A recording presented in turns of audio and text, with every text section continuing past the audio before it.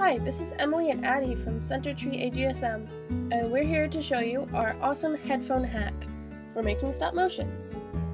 We use the Stop Motion Studio app, you can see on this screen right here, and we take pictures like this, and even with our tripod that we've made, sometimes pressing the button can make it shake, which causes shaky videos, and I'll pull up an example of a shaky video that we've had so you can see what that would look like.